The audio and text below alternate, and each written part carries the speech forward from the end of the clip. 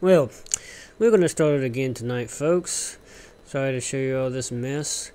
I saw the latest film, Heretic, with Hugh Grant, and before I give Dave here a chance, you know, I want to break into my Dr. Pepper and uh, take a bite of my hamburger here. I'm also working on the editing project, by the way, so I hope that doesn't cut in audio-wise. But uh, I wanted to really kind of, you know, introduce this film because I thought it was actually rather good and uh, you know it's it was fun. It wasn't over the top. It's it's got a good performance by Hugh Grant. Hugh Grant, that's for sure. Hugh Grant. Hugh Grant. You may know him from um, recently. He was in Dungeons and Dragons. Uh, alongside Chris Chris Pines, you know from the Star Trek movies. Funny movie. I saw it like four times. Um, also, he, I think he was in like something, uh, some holiday love movie. We also have uh, some. We have one breakout star, and another star that kind of broke out like last year, roughly a year ago, but it's still kind of breaking out. And just let me get into IMDb page here. I know this may be kind of a copyright going on, but I wanted to really start you know, listening to other people, well, not start listening to them. I wanted to give my own little review first. I think that, and also we're going to go into like for time and hope, more, you know. Um, the movie I thought was great, you know. Uh, we're going to start, I was going to start with Dave, but I think I'm going to start with Jeremy, you know. Um, or maybe I should just start with Dave, kind of make it feel. anyway, uh, so he was Heretic and maybe this is kind of divided. I don't want to open up too many tabs. It stars Hugh Grant as Mr. Reed, like Reed Richards. Sophie Thatcher, that's the woman that's kind of already been doing it for a year. She's been out for a year, maybe more than that, like a year and a half. Sister Barnes is her character, alongside Chloe East. This is the new breakout actress that I wanted to mention. She plays the character Sister Paxton. Now, Chloe East, I've never seen her face before. I've definitely seen Sophia Thatcher. She was recently in um, MaXXXine, you know, another movie by A24. This movie is produced, I believe, by A24. So A24 is just pumping out these horror movies like fucking crazy, man. It's just, it's brilliant, but you know, it's like they always do. They, they do other projects, but so uh, of course we got I didn't know. I, didn't, I did not expect this. We got Topher Grace along, that plays Elder Kennedy. Um, Topher Grace is scheduled another release. I just restarted this computer kind of, so it's gonna. And this is the trailer. Hope you like flying. Sorry, didn't mean to play that. That movie is called Flight Risk, alongside uh, Mark Wahlberg. Not really sure that's gonna come out. I'll go ahead and look at that real quick. I think it's released, scheduled for release about. Well, that that's not really. I mean, well, look at oh, January of next year. So there you go. Uh, so Chloe East. now, Kelto is you know she goes into, I think, when she's kind of like I think she's nearsighted, no farsighted. She's definitely farsighted because she needs glasses to read. Uh, anyway, these two sister Paxton and sister sister Barnes, basically they are two members of the Church of Jesus Christ of Latter-day Saints. You know, the Book of Mormon, and that's the one that's you know considered the cult. It's not really as tr trustworthy as um Christianity. Christianity, the Bible has warned against books like that. Personally, I'm not a part of it. I'm not a part. I don't really go by the Book of Mormon. I I, I actually was kind of persuaded to, but I consulted my counselor in high school, and because I they, they lead you to they actually lead lead you to believe that Michael the archangel is the same person as Jesus Christ, in that when he became Jesus, he was basically God's son in human form. Like he was basically an angel, and then God chose that angel and, and turned him into his son that sacrificed himself, and then he's going to come back, the leader of the angels. And that only makes sense for Michael and Jesus to be the same. And I actually believe that for like, I think about a few weeks, and I consulted my counsel. I, I, I, think she she wasn't really academic counsel, but it was in high school, and she said she was a Christian. She told me from this is before the world went woke. By the way, this was back in 2000 nine-ish so before the world went woke so it wasn't a big deal. The teacher wasn't trying to like persuade me religion wise um, and even and even if and, you know even though it might be seen as that I didn't really care. I know nowadays they can't really do that you know kind of because of the legal you know effects on discrimination shit and stuff like that. But she did you know we convinced me that Jesus and Michael the Archangel are two different people I'm sorry two different entities not people well you know Jesus is supposed to obviously but two different entities Anyway, so the story is um, the Church of Jesus Christ of Latter-day Saints. It starts out with the two sisters trying to see if anybody wants to uh, know about the story of you know Jesus Christ the Savior, and you know start talking about the Book of Mormon and all that. It later goes on to about who established the Book of Mormon, that Joseph whatever guy. Um, but you know they're talking to they eventually meet Hugh Grant. There's this good scene where they go up these hills with their bikes and they talk to a few people and ask them if they want to talk about the church, and you know they just ignore them. Then they go back down that same hill, like literally five seconds later, like well, yeah, five six later they go back down that same hill. Maybe seven seconds, but anyway, they got to walk back down that same hill, down the steps. Makes me wonder. I was wondering why they didn't just ride their bikes down the hill. I know they wouldn't want it up, but down the hill. You know. Anyway, so they probably didn't make him dirty, but anyway, I'm, I'm getting I'm getting off point. They eventually make their way to Mr. Weed, once again played by Hugh Grant, who I happen to have right beside me. I am messing around. That is a lie. I apologize. Forgive me, Lord Jesus. I know I'm just messing around. Anyway, um, so Hugh Grant, he starts off as a charming individual that is interested in learning about the Church of Latter-day Saints, and he says he's already got a copy of the book, but he, you know, one more couldn't hold. He sits down with them, says that he's going to make cherry. Said that his he says that his wife is making cherry pie, and basically because Sister Barnes and Sister Paxton are women, they need another women woman woman to be present in the house before they can be allowed in. So they asked Mr. Weed if if, if he has like any type of female in the house, you know, whether it be a you know, a sister, a girlfriend, a roommate, a wife, and he says, "Well, his wife is his wife's home. Does that count?" He asked, and she said, "Perfect." They're like perfect, so they go in, you know, and I guess that's just the rules of the group, you know, for safety purposes. There has to be another woman in the house because there's been issues with uh two one uh, one or more women inside the house of a male of a so of a solo male and then that male would later assault them sexually or and or worse and of course I'll get into that a little bit later that does happen but anyway so that's why that's why they need another woman in the house to be present in which Mr. Weed he says he lies and says that the, his wife is there, but we found out that his wife is not there.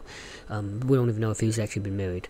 There is no history to Mr. Weed as to why he does what he does. He is a, a psychopath because he's manipulative. So according to the Diagnostic and Statistical Manual, he is manip manipulative, charming.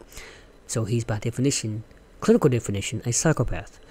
Um, Unlike Michael Myers, who cannot be compared because he's a sociopath, doesn't kill. Anyway, he manipulates these two girls into believing that, you know, he's heard the story before, and it goes into this, like, the, the uh, you know, theory and hypothesis of what religion are, disbelief versus belief, belief and disbelief.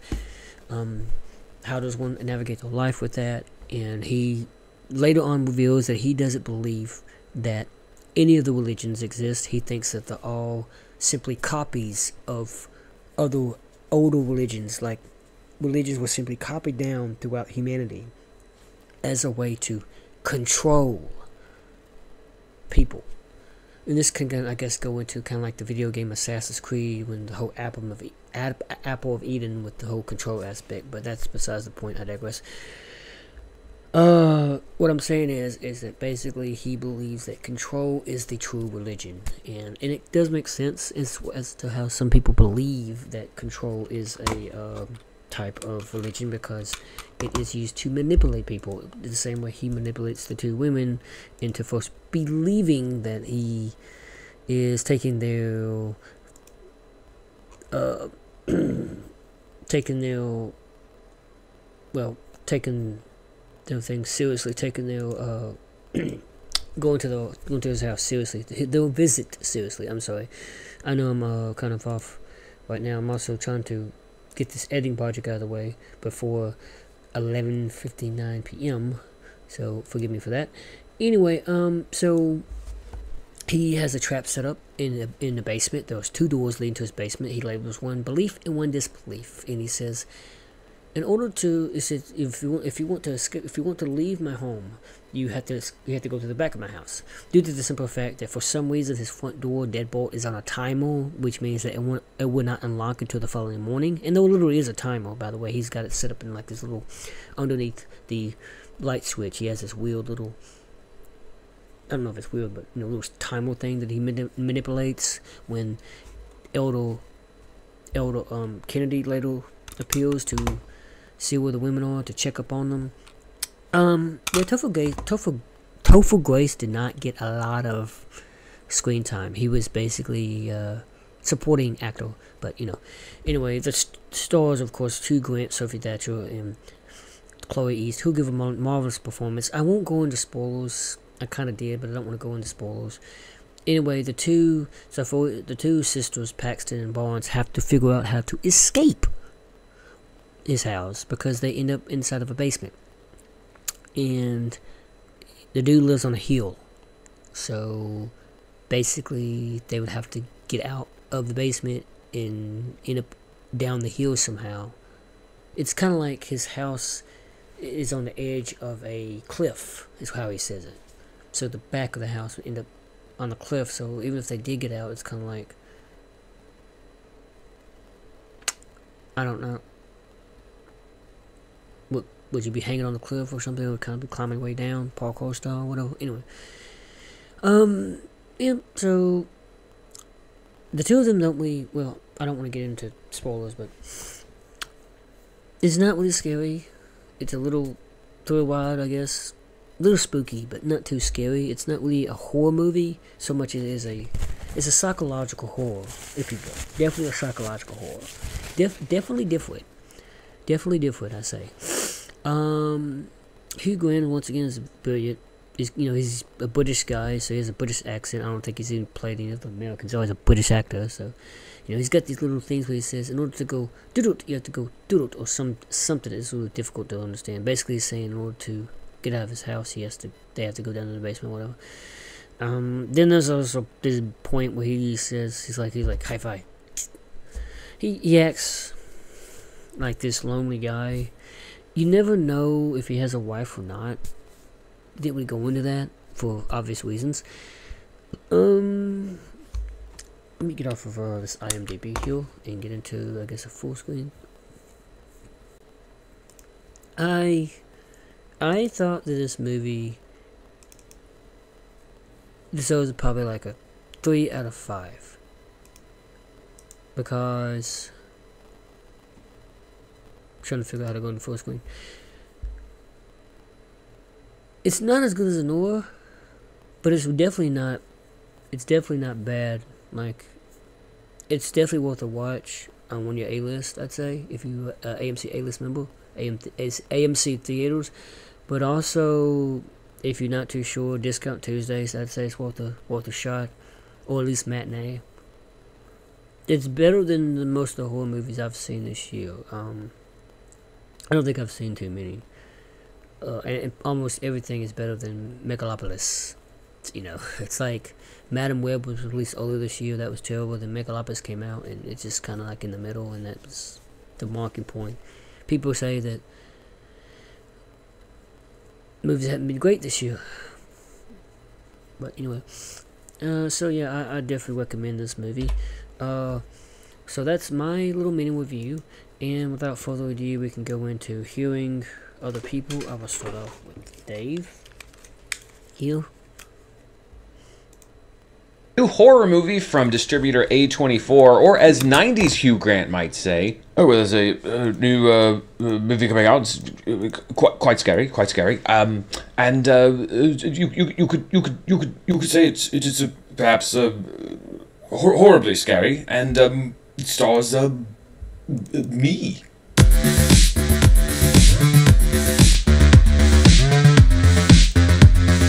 This episode is brought to you by Chubbies. Go to chubbyshorts.com and use promo code DAN20 for 20% off your order. And stay tuned after the video for more info. Hello, everybody. I'm Dan Murrell, and this is my review of Heretic, which is the latest A24 horror film. This one comes from writer directors Scott Beck and Bryan Woods, who co created A Quiet Place with John Krasinski, but whose last film as directors was the disappointing dinosaur action film 65, starring Adam Driver. Sophie Thatcher and Chloe East star as Sister Barnes and Sister Paxton, two Mormon missionaries who show up at the door of Mr. Reed, played by Hugh Grant, to spread the word about the LDS Church. While Mr. Reed seems to be an eager potential convert, it soon becomes clear that he has more sinister plans for the two girls as they're locked in the house and begin to sense that they're being tested and studied for reasons unknown. Heretic traffics heavily in a topic that many people might stay away from because it is very divisive, and that topic is religion. Hugh Grant's character questions the two girls not only about their religion, but about the faith of people worldwide. And you could see a world where this would be too divisive for what's wanting to be a mainstream movie. I know that feeling very well. It's so important to to find your faith in a doctrine you actually believe, and that's a very very personal struggle. That is a personal challenge that I've struggled with for a very very long time. You know, what is the one true religion? However, I would be surprised if a huge part of the audience was turned off by the film because I honestly think you could take somebody walking in that believes in God and somebody that doesn't believe in God. And I think that they both might be able to walk out of the movie feeling like their position was well represented and that they were potentially validated by what happens in the movie. And I think that that's one of the great things about the screenplay. You take something like religion, which could easily go wrong if you're not careful about how you deal with it, could turn people off, and you write a screenplay that actually I think people from either side could find something to latch onto in. Heretic is mostly a three person show, but the standout role is obviously Hugh Grant as Mr. Reed. I've been a big fan of his career choices for the last several years, including his comic turn in Paddington 2, his decision to play in Oompa Loompa, his villainous role in Dungeons and Dragons, and even his performance as Thurl Ravenscroft in Unfrosted, which is a movie I did not care for. It's obvious that Hugh Grant at this point in his career is taking on roles that are challenging, that are perhaps more interesting to him, because he really was able to nail the whole persona behind being Hugh Grant back in the 90s and going into the early 2000s. And I like that he's sort of stretching his wings a little bit and saying, okay, you know, I could play this role, the same role over and over for the rest of my career, but I want to do something that's different and something that may surprise people. And I think that a lot of people who might know Hugh Grant mainly from romantic comedies are going to be very surprised by his performance in this film. Here he gets plenty of dialogue that drives the story as he pokes and prods the two missionaries, and he's able to give it all an air of mystery, but at the same time, he's often quite funny in a dark way as he expounds on board games and pop music and the fundamentals of world religion in order to conduct the tests that he has in store it's a really good performance and it makes me even more excited for whatever the next choice he's going to make because it really could be in any genre. And I mean, who would have thought that back in the 1990s that the foppishly handsome,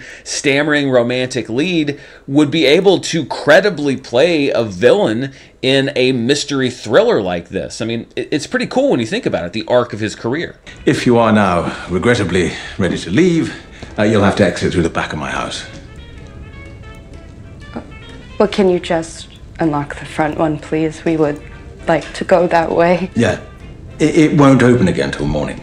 It should be noted that Grant's performance wouldn't work nearly as well without Sophie Thatcher and Chloe East as his scene partners.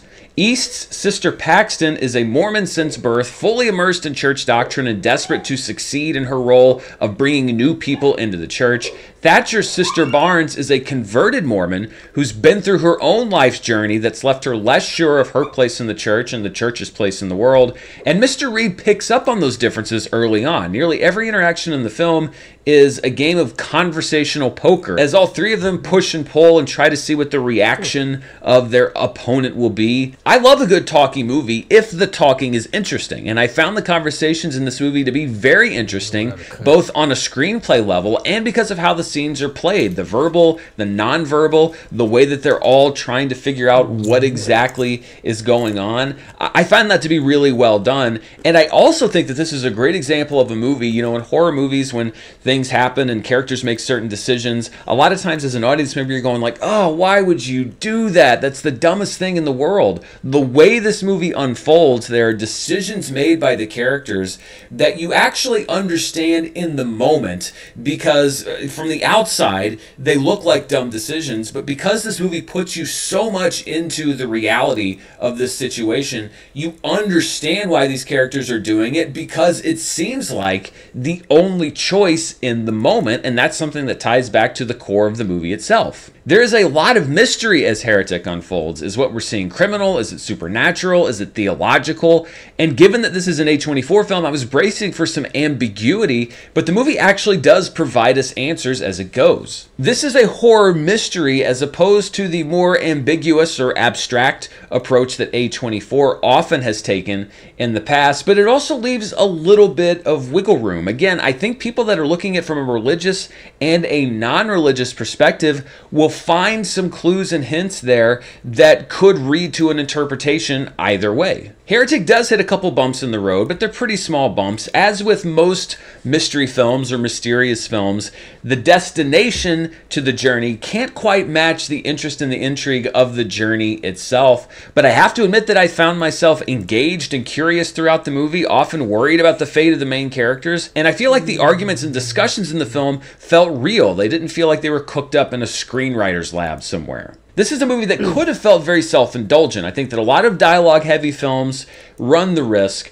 of having the writer take the spotlight instead of the actors and the characters that we're supposed to be watching on screen. But I, I didn't really get that. I think that this is a pretty well written film. And it's also a really good looking film with cinematography from Chung Hoon Chung, who has an impressive resume, including the original Old Boy, Lady Vengeance, The First It, Last Night in Soho, and The Handmaiden, among others. Overall, I really enjoyed Heretic. If you're going to go back to my A24 horror rankings, which I just put out last week, and I would love it if you go watch that video, I would put it in that upper tier alongside movies like The Lighthouse and The Witch and Bodies, Bodies, Bodies. It may not be at the very top of the list, but it would be in that upper part. And I think it's one of their more mainstream films, too. I was torn between what rating to give the movie on my personal scale, but I settled on a low grade See It Now rating, if only because I think it features some genuinely good discussions and dialogue and is a pretty strong horror mystery thriller to boot. So that's a definite recommendation for me on Heretic. What do you think? Are you going to be heading out to the theater to see it this weekend? Let me know Already down in the comments buddy. below. And before we go, I want to thank the sponsor for this video, Chubbies. When I say Chubbies, you may think of fun in the sun and their awesome swimsuits, but Chubbies is also here for you in the fall with a full line of comfortable clothes that will have you feeling warm and looking great. Lately, I've been rocking their Everywhere pant, which is great for lounging around the house, then heading out for a football game or to hang out with friends. And their carry on flannel overshirt is perfect for nights this time of year when I need just a little something extra to stay warm. And if you've ever watched the channel or seen how I dress since, well, ever, you know that when it comes to plaid and flannel, I know what I'm talking about. And if you're still clinging to that last little bit of summer or you just have those weatherproof thighs, Chubbies always has their original stretch shorts, which you can pair with something warmer up top for the perfect fall look. If you're not wearing stuff from Chubbies, you're gonna wish that you were. And unless you're the Terminator, demanding that somebody who's wearing Chubbies clothes hand them over in the street probably isn't an option. So do yourself a favor and get a fall wardrobe upgrade that I know you'll be happy with. And would you look at that? For a limited time, our friends at Chubbies are giving fans of the show 20% off with the promo code DAN20 at checkout at chubbyshorts.com. That's 20% off your order with the promo code DAN20. And don't forget to support the show and tell them that Dan sent you. This fall, make the most of every moment with Chubbies. Shop now and fall into comfort, one stylish piece at a time. Thanks to Chubbies for sponsoring the video and thank you for watching. Be sure to stay tuned right here this weekend. I've got more reviews, including one for Anora, which is a big awards and Oscar contender, as well as a review for the first act of Arcane League of Legends Season 2, which I've been looking forward to for a while. So don't forget to come back for those and to come back next week for Charts with Dan, movie news, box office, all the stuff that we do. Until next time, stay safe, and I'll see you then. Bye.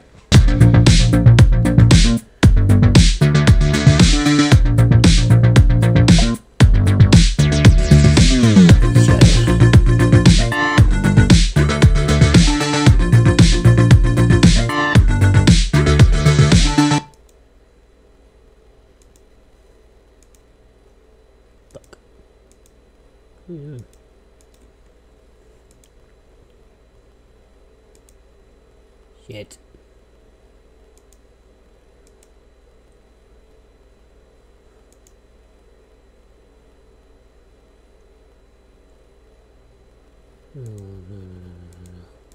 Okay, okay, down. oh well. You know, I was Yeah. I was covering the um actual Oh, Thomas Thorgood just did it. I was covering the actual kind of winning of Trump, you know, earlier this week. Hey everybody, today Sorry, Control Shift T, please. I gotta get that in as a copy. Hugh Grant stars in a new horror movie from distributor A24. We're gonna go. This is Well, Jeremy Jahns here, I guess. You know, this kind of saved Jeremy. This saved Jeremy. Heretic. Okay, dokie then. I'm, I'm I really want to know what. To, I'm not gonna do with the 23 right now. That's too far. Okay, I tell you what. We'll go with Miss Deep Focus Lens at first. Apologize. I should have had this prepared, but I didn't. So uh, I'm just gonna copy and paste these these what I call references into my page, and uh, we'll go from there. Try not to take up too much time of this. You know, editing takes time. It is time consuming. It is definitely a time consuming business. Editing. I'm doing that right now.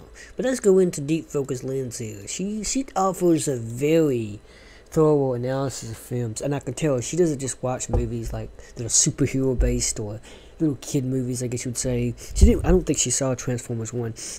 I would suggest that to her, but she did. But she's more of a mature viewer, if you will. She watches things that are suspenseful or thought provoking, and she always does this with her hand. Oddly enough.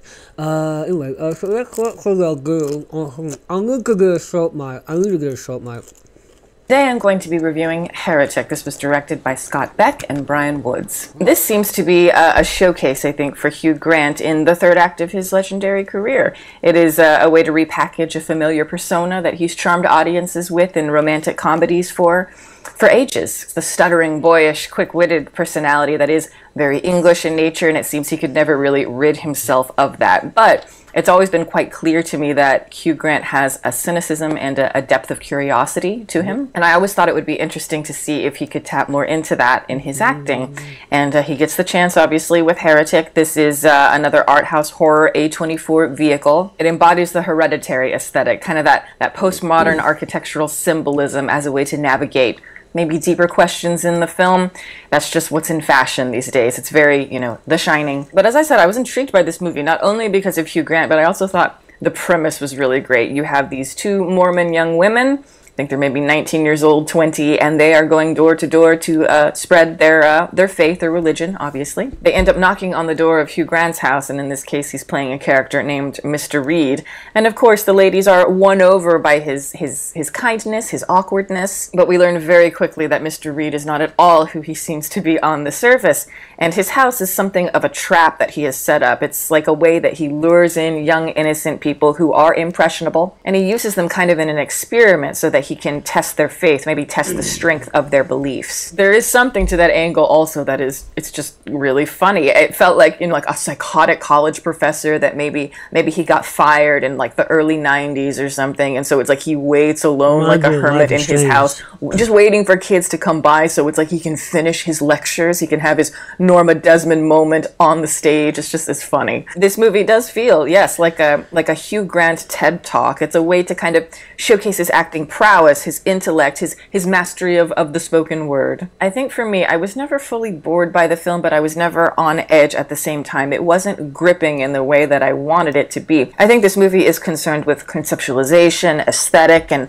maybe um, genre conventions and how they can subvert them in a way that is, yes, very postmodern in style, but they do so at the expense of I think, a compelling thesis where the tension can escalate with, with real verb, and very little of this movie crackled for me. It's not particularly scary. The aesthetic, yes, it is very A24, so there is like a beauty and, a, and a mm-hmm. attention to detail, but it does feel at this point too generic for A24. It kind of lacked imagination. And then ultimately, once we, we sink our teeth mm-hmm. down into the, the heart of the movie, the meat and potatoes, I, it just feels like we're getting treated to basic theology 101 and not in a particularly fun way or clever way. And the thing is, I enjoy certain elements of the movie. It's like I like these young women. I like the dialogue between them, particularly in the beginning of the movie. It's like they have distinct characters and you want to root for them, see where their characters do end up going in this experiment. But unfortunately, the payoff here is so simplistic and so uninspired that I think the whole idea behind the intellect of this character completely falls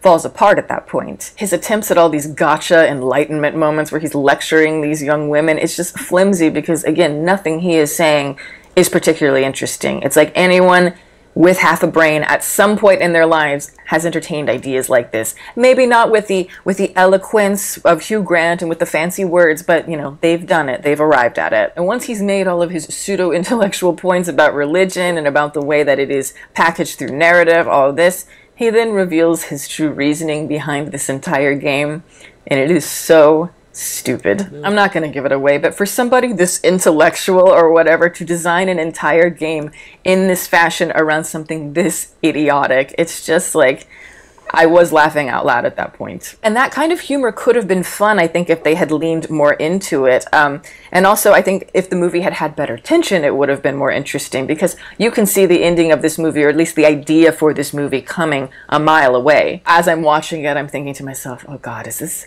Is this going where I think it's going? It better not, because if it does, that would be so stupid. But show enough. Now, I do think it would have been funny if the movie had leaned more into the joke where it's it's making fun of the Hugh Grant character. It's like where it's making fun of intellectuals and that sort of the academic. How they'll have all these fancy words, all these interesting concepts they want to talk about, but ultimately it's just talk and they arrive at nothing and do nothing with it. I don't know. So I think that would have been hilarious, but there's something to the humor in this movie that it just feels off and not in the way that they meant for it to be. It's just like it's dark humor, obviously, but it always felt too obvious and a little bit out of place. I think it would have been more interesting too if the dialogue was less on the nose or like it disguised its intentions a little bit more because it would bring out more of a human side in the characters, particularly the uh, the young girls. Because the point is that we're going to learn about them. It's like we're going to have revelations about who they are. It's like when they decide to challenge Mr. Reed at certain points. They no longer feel like characters. They feel like mouthpieces for the screenwriter, and I just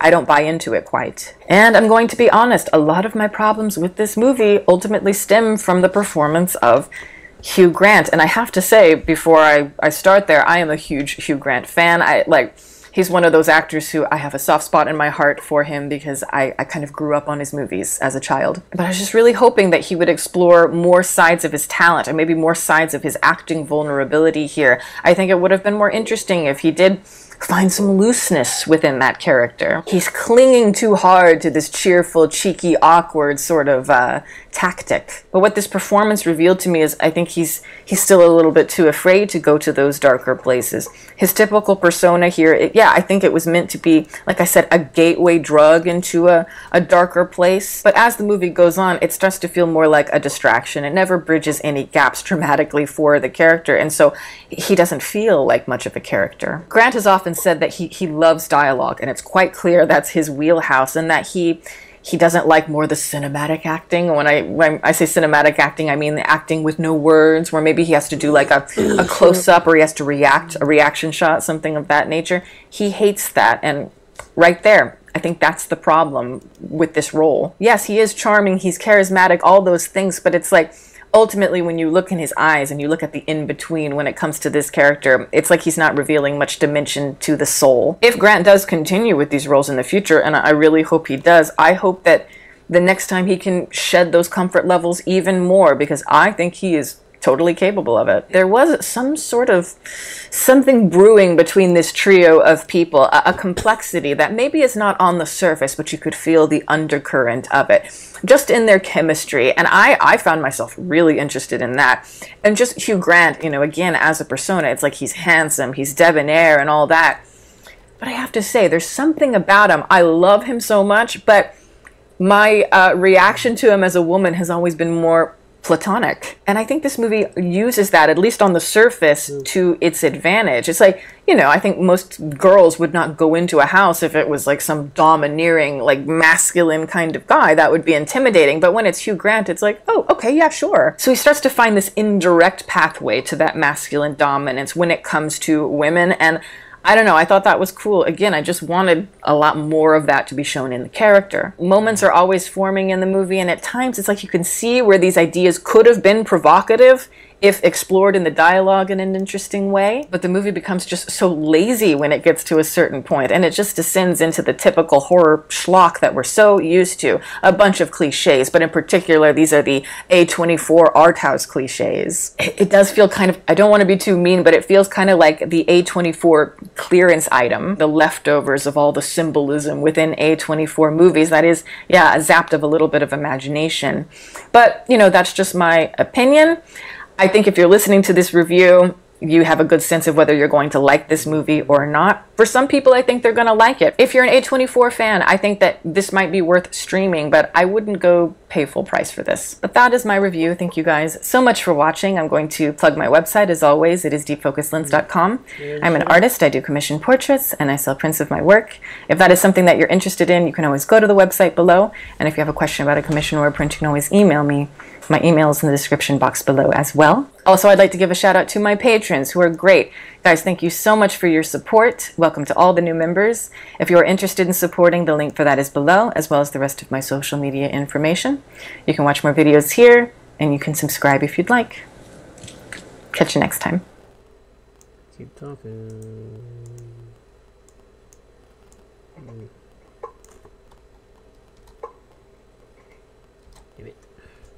That's close enough. Oh, okay. Well. Mm, celebrate. Though going. Oh my god, this is actually worth a shot. Okie dokie then. Uh, let's see.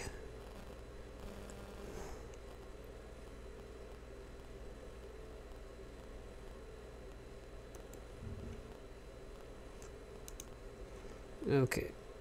that was So yesterday we spent some- Focus lens. Not watch that. We'll save that for watch later.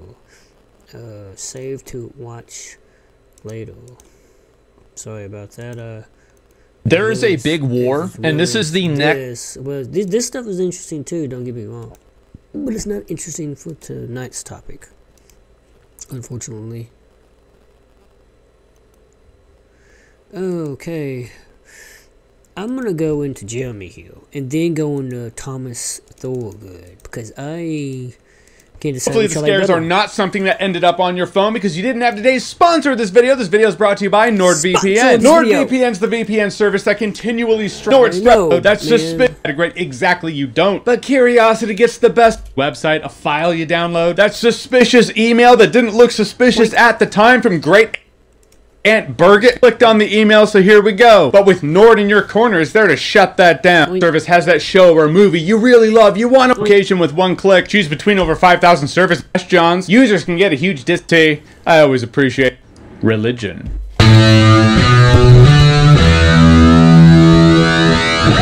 So Heretics written and directed less divisive than movies. Get that. And now let's switch gears. Let's talk about a subject that's slightly less divisive than movies. Religion.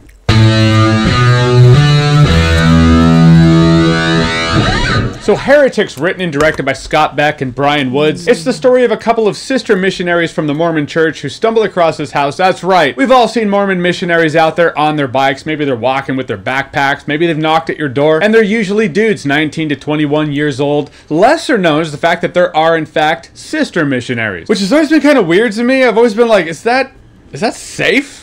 Maybe that's what the movie. Maybe this is the movie going, no, it's not. But they come to this house where Mr. Reed, played by Hugh Grant, lives. And they start talking and he starts debating religion with them. Sounds kind of boring.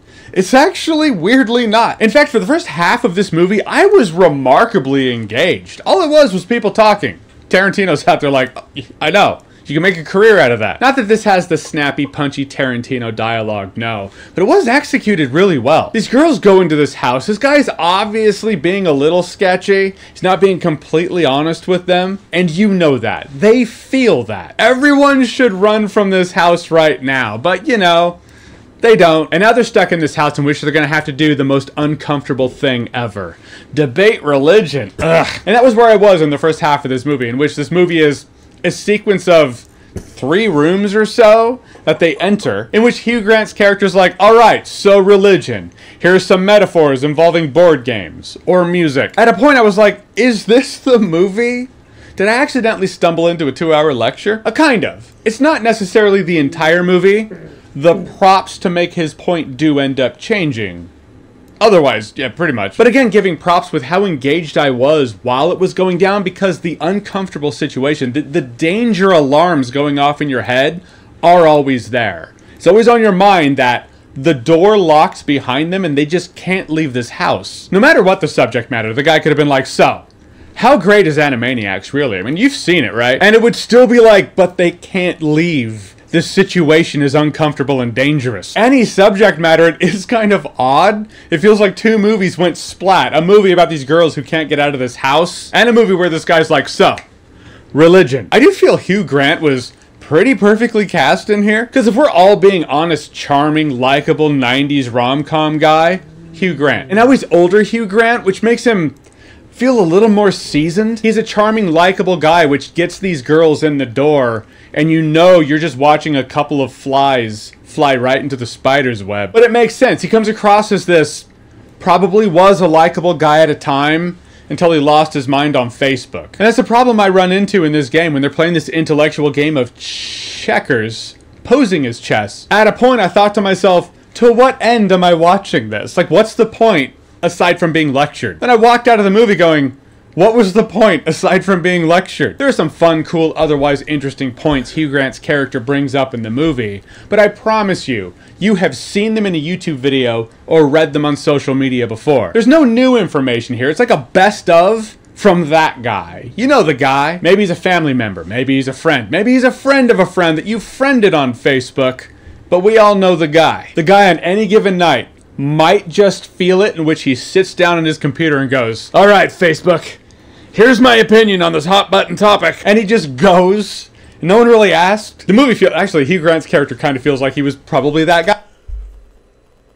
I'm that guy. Kind of, sort of. guy. At a point, people stopped responding. He didn't get any more arguments. Realized that everyone had muted him, so he was like, "I got a plan.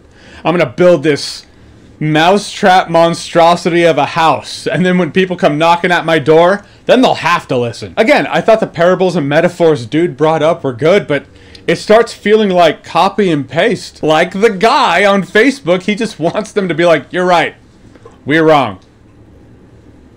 Now can we go? I thought the ones who played the two sister missionaries, I thought they were good too. Played by Sophie Thatcher and Chloe East. The dynamic between the two was actually what I liked most. You got one who was way more Molly Mormon about it, born into the religion, and you got the other who you feel like is still on her quest to find what she believes, and that quest has just led her to being on a two year mission for the Mormon Church. That's what the girls should be named. The sister missionaries in this movie are named Fight and Flight. I do take away a couple marks from the script, though.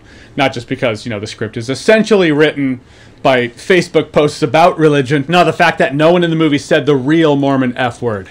Fetch. That's right, that's fetching crazy, substituting one F word for the other, so can kind of curse, but not really. Or was that just a guy thing in the 90s? I don't know. Point is, I heard no fetches brings the score down a bit. But judging the movie based as a thriller for tension, there were things in this movie that I'm sorry, just didn't make sense. The movie's gonna have an unfolding, an unraveling of what's actually going on, reveals. And at a point I was like, nope, that just doesn't actually make sense. But in the end, I had a surprisingly enjoyable time with Heretic. Probably because I didn't see the trailer. I knew nothing about it. The main stars of the movie being that overwhelming sensation of discomfort and tension. And Hugh Grant, I thought he was great. Kind of like Raul Julia in the mid 90s Street Fighter, channeled that Gomez Addams energy. And it's odd to say, but when you watch it, it works. Hugh Grant channeled that likable, charming rom com energy to deliver a character that makes you feel uncomfortable. But he wasn't necessarily sleazy. That's what I like about him. He still does come across as a gentleman. It's very conflicting, but in an interesting kind of way. I was like, all right, two girls in a house. At what point is this just going to be. At what point are they going to have that scene that doesn't need to be in here? It's not like that. I say if you've not yet become so annoyed with that guy on your Facebook to the point in which you mute him, and you're up for another two hour lecture about the fallacies of religion. However, in a film that does have some solid tension, I had myself a surprisingly good time. No alcohol required. Subject of much amusement is what does this guy do? When nobody knocks at his door, how often does he actually get missionaries? Really, like what? What does he do in his spare time? Uh, Facebook posting, right? I already answered that, I guess. Alright, so Heretic, have you seen it? What did you think about it? Whatever you thought, comment below, let me know. And as always, if you like what you've seen here and you want to see more, click right here to see more.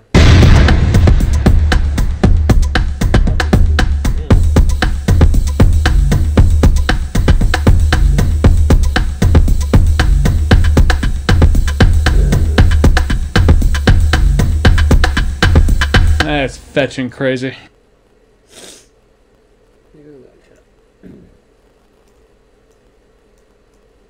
No.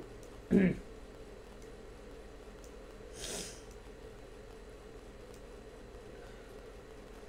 have no idea.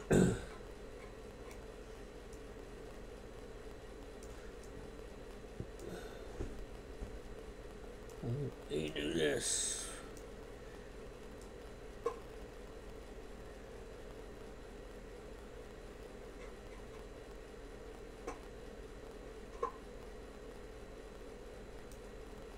So, oh,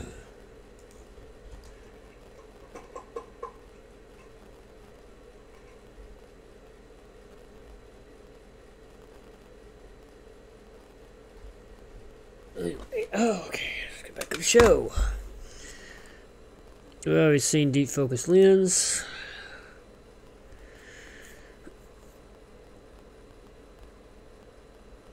Movie files, ending explained. It's not a rem. So you just get.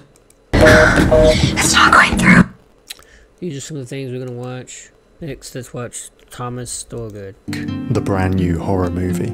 In this video, we will be diving straight into its deeper themes and symbolism. Symbolism. There will be spoilers.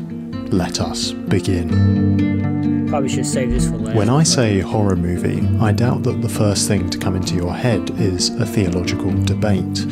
And yet, that's what this film is. It's a discussion about the nature of faith, told through the language of horror. And actually, it makes perfect sense.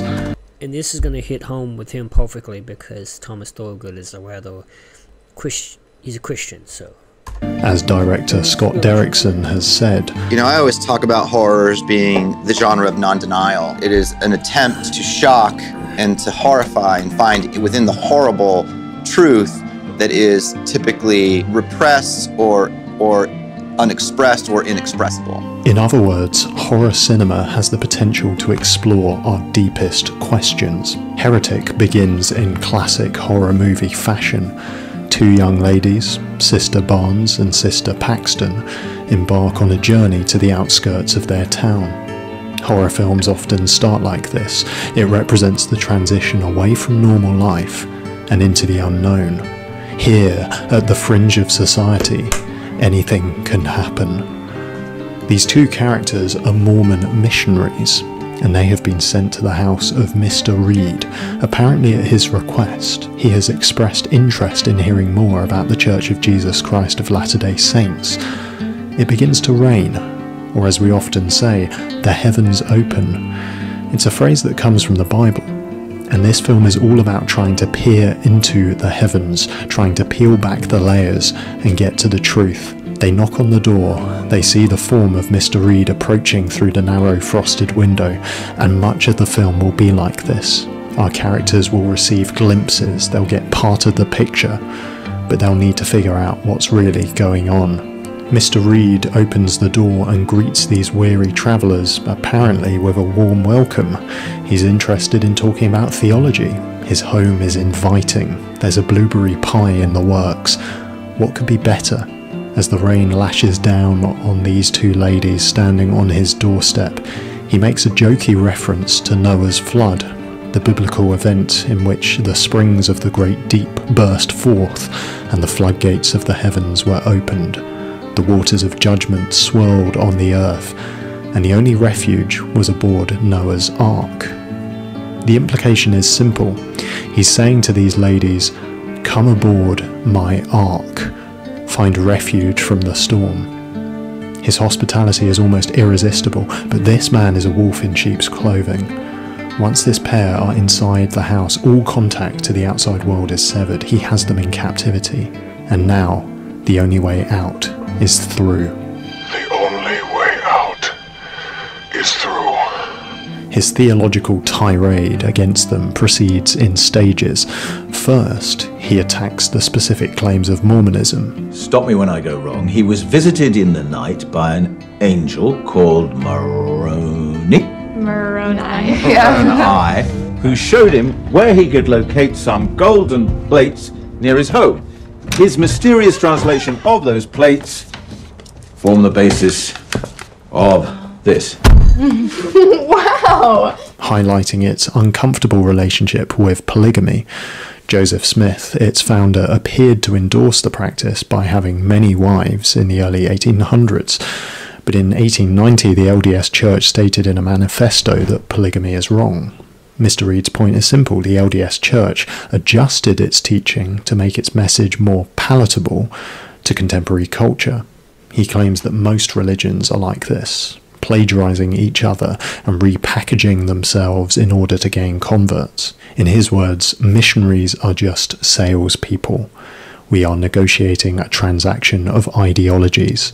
Mr. Reed then gives a potted history of global mythology. He claims that all sorts of cultures have believed in saviour figures who were miraculously born and resurrected, and therefore there's nothing especially unique about the figure of Jesus Christ. He's just a repackaging of a story which has been told time and time again. That's his claim. Mr. Reed's monologue is a powerful piece of rhetoric, although it's worth noting that many of his claims about the similarities between Jesus and the Egyptian gods have actually been debunked. There's no reference in Egyptian mythology to Horus being crucified or resurrected three days later. Horus, his mother, was not a virgin woman, but the goddess Isis, and there is no specific date anywhere tied to the birth of Horus. All of these claims and many others indicating that early Christians yoinked the mythology of Horus and stuck it on top of Jesus were all completely made up by Gerald Massey, a 19th century cuckoo banana bird self taught Egyptologist who never provided the slightest shred of evidence for any of these claims. And even if there are similarities, that doesn't automatically discredit Jesus. But the premise of what Mr. Reed is doing here is very reminiscent of Joseph Campbell's 1949 book, The Hero with a Thousand Faces. It was a groundbreaking work of comparative mythology, and Campbell examined all sorts of stories from around the world and down through history, and he noticed a recurring pattern the hero's journey, or monomyth, which he summarizes as follows. A hero ventures forth from the world of common day into a region of supernatural wonder. Fabulous forces are there encountered, and a decisive victory is won. The hero comes back from this mysterious adventure with the power to bestow boons on his fellow man. We keep telling that story. Different cultures will add their own dressing to it, but the shape of the story persists. The hero who ventures into the unknown to gain the victory humans keep telling those sorts of stories. It's a fascinating observation. But what does it mean? Mr. Reed interprets it as follows He says, The holy texts we revere are mythologies which have been iterated, not literally true, but a conduit to a more ancient truth. In other words, there is a deeper meaning to this world, he reckons. Our mythologies and religions are reflecting something of that deeper meaning, but they are distortions. Somehow we need to look past them and get back to the original uncorrupted truth. This is compelling storytelling. We have no idea where it's going to go in this movie, and it certainly rattles our two central characters, along with the fact that they appear to be trapped in this man's house. He forces them to choose between two doors belief and unbelief. Either there is a deeper meaning to life, there is something beyond, or there isn't. The universe is simply a collection of molecules clacking together. Which door will they choose? They choose the belief door, and then things get really disturbing as they go down into the cellar. A crucial symbol in the film is the butterfly, and the butterfly's life cycle proclaims resurrection. Think about it a caterpillar forms a cocoon, its old body dies, and what emerges is this amazing winged creature. So it's often been taken as a symbol of resurrection. Now, at the start of the film, in the living room, Sister Paxton reveals that she really likes butterflies. She says that when she dies, she wants to come back as a butterfly and follow the people that she loves. I don't know how that sits alongside her Mormon theology. It sounds a lot like reincarnation to me. But anyway, it's a semi serious comment. And sure enough, there's an actual butterfly in the living room. It's clinging to a small six sided window. Now, six is a significant number. In the last book of the Bible, Revelation, we read this Let the person who has insight calculate the number of the beast, for it is the number of a man. That number is 666. If 7 represents completion or perfection in the Bible, 6 falls short of that. And here the text is describing a kind of unholy trinity formed by Satan, the beast of the sea, and the beast of the earth, and their number is 666, a threefold falling short of the perfection of God, associated with the failure of Adam, who fell in the Garden of Eden. He was created on the sixth day. So this is falling down, but not quite falling yet. The butt hasn't touched ground.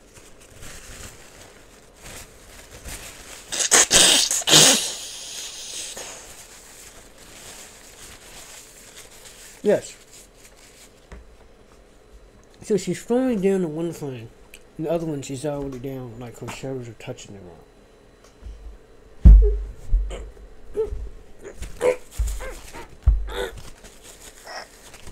Looks like. So that's a striking image, a butterfly being restrained by a hexagonal window. And I think it represents the story in miniature form. The two sisters are like this butterfly, and the hexagonal window represents the captivity imposed. Sorry. Not my bad. We have no idea where it's going to go. The collect they go down. It- so it's often Sister Paxton reveals that she written Theolius comment to a small in the last book insight calculate the number of the beast for it is the number of and here the text is describing a kind of unholy trinity formed by Satan the beast of the sea and the beast of the earth and their number is 666 a threefold falling short of the perfection of God associated with the failure of Adam who fell in the garden of Eden. He was created on the sixth day so that's a striking image, a butterfly being restrained by a hexagonal window. So that's a straw in the Garden of Eden of the perfection of God of the earth, and their number is 666, a three the beast of the sea, and the beast of a kind of unholy trinity formed by Satan, the beast of the sea, and the beast of the earth, and their number is 666, a Kind of like the Trinity of you know God, you know, God, Jesus, and the Holy Spirit. Threefold falling short of the perfection of God, associated with the failure of Adam, who fell in the Garden of Eden. He was created on the sixth day. So that's a striking image, a butterfly being restrained by a hexagonal window. And I think it represents the story in miniature form. The two sisters are like this butterfly, and the hexagonal window represents the captivity imposed by Mr. Reed, this beastly oppressor. His understanding of humanity is all about control, as we will see. As things escalate and Sister Barnes gets her throat slit, apparently bleeding to death, there's another mention of the but- Spoiler alert. Spoiler alert. butterfly. Mr. Reed brings up the story of the butterfly dream written by an ancient Chinese Taoist philosopher. Let's check it out. Once upon a time, I dreamt I was a butterfly, fluttering hither and thither. To all intents and purposes, a butterfly. I was conscious only of my happiness as a butterfly, unaware that I was myself. Soon I awaked, and there I was, veritably myself again. Now I do not know whether I was then a man dreaming I was a butterfly, or whether I am now a butterfly, dreaming I am a man. In other words, if I am seemingly passing between the realm of reality and the realm of dreams whenever I go to sleep, how can I be sure which is which? It's thought provoking, isn't it? I guess I trust that right now I'm in reality and not a dream because this feels more grounded and physical. Dreams seem to have a different quality to reality. Mr. Reed modernizes it by bringing up the simulation hypothesis. Are we living in a simulation? And if so, when we die, do we leave that simulation? How would we know? There's a woman in the room who is supposedly a prophet of God. She poisons herself and appears to come back to life. Has she glimpsed what's on the other side of the curtain? Was it a near death experience? Was it a hallucination? Well, it turns out it was a trick. The bodies were swapped. And these are all questions that Sister Paxton is forced to consider, along with us, the audience. It really keeps up the suspense. But ultimately, all this is leading Sister Paxton to one place, what Mr. Reed describes as the one true religion. He claims to have discovered it control. He tells Sister Paxton that her religion, Mormonism, has been controlling her this whole time. He was able to predict her every move based on what her mentors had handed down to her. He says this You have allowed them to dictate every decision of your life. And Mr. Reed's assertion is that control is what lies behind every religion. The desire to control others. That's what's ultimate. It's a bleak view of reality and Mr. Reed has embraced it. Beneath his house, his female prophets are caged to do his bidding. After this climactic confrontation, Sister Paxton tries to escape, and her own faith appears to dwindle.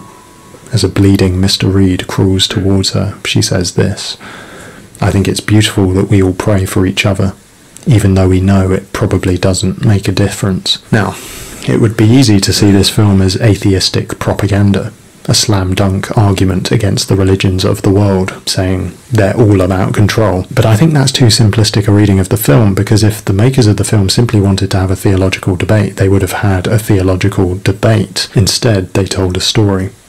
According to Mr. Reed, control is what's ultimate. But does the film itself agree with that? Well, this is where it gets really interesting. Mr. Reed is the villain. The film ends with him being defeated. And how does that happen? It happens at the hands of Sister Barnes, who we thought was dead. At the lowest point in the story, she arrives unexpectedly to expend herself out of love for her friend, defeating the enemy and setting the captive free. It's an act of self sacrifice. And it's ironically reminiscent of the crucifixion, the very event that Mr. Reed was so determined to lump in with every other religion and mythology. Look at the imagery that's used here the plank of wood with the nails, the bloodied nails. So, what is ultimate in this film? What has the last say in this film? It's not control, as Mr. Reed would expect. In fact, it's not verbalized, it's shown, it's demonstrated. It is this self sacrificial salvation, setting the captive free. Mr. Reed was bringing one kind of message, but the film around him is saying something different, it seems. Sister Paxton stumbles out into what is now a snowy wonderland. In the Bible, snow often represents purity. This scene is rather reminiscent of Lucy stepping out of the wardrobe into Narnia. The sun is rising, chasing away the darkness of the night before. A butterfly lands on Sister Paxton's hand. The camera angle changes, and the butterfly is gone. Did it fly off? Did she imagine it? I think this ending shows that the questions of the film are still open. Maybe, despite everything that Mr. Reed taught, there is more to this universe than control. Many people, like Mr. Reed, view Christianity as just another religion of control, and we've certainly tried to turn it into that. Mormonism is one such example. If you keep the commandments, you'll get a good place in paradise. But I find traditional Christianity compelling precisely because it's the one religion I've found that isn't about control. It's not about us giving our lives to God, it's about God giving his life for us. I don't know what you make of that. But I think we can reject Mr. Reed's assertion that Christianity contains nothing unique. I guess I look at that figure, nailed to a piece of wood, descending to the deepest depths of agony in self sacrificial love, and I think if there is a deeper meaning to the universe, it's him. And I can't imagine denying that to my dying day. Even if I end up believing it's not true, I can't imagine a more compelling figure. So, Heretic. I was blown away by this movie. From the way it started, I thought it was going to be a dogmatic lecture directed against religious belief. But no, the character of Mr. Reed is doing that, but in the context of a film which is itself wrestling with those questions. And I don't think it claims to arrive at the answers, it leaves the questions open. And any film that starts those conversations about the biggest questions of life, I think that's a welcome addition to our cinema screens. So let me know what you think. Hello, Thomas here. You might enjoy a short film I directed called The Telltale Heart. It's based on the Edgar Allan Poe short story of the same name, and we had a lot of fun with it. Loads of practical effects and unhinged performances. And you can watch it by clicking here. I'd love to hear your thoughts. On this channel, I try to look at film from a different perspective, and sometimes I have a go at making films myself. Thank you so much for watching. Do subscribe if you'd like to stay in the loop, and I will be back soon. Goodbye.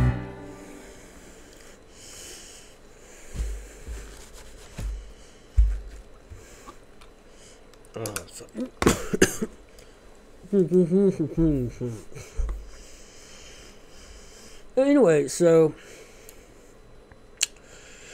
I wanna I wanna keep reading about. Sorry about my little talking mess. I wanna keep reading about these, uh, you know, things and explain. Maybe get some new faces in and get some uh, like some expl- explanations as to, you know, the ending explained and whatnot and. some are going to contain spoilers, some are not. I'm Heretic, which is sorry. I'm trying to organize them a little bit. So yesterday I Try to organize them just a tad bit. Uh, Okay, so does. make sure they don't play, you know, make uh, too fast. so I'm gonna probably should organize this into like spoilers and non-spoilers, uh, which is kind of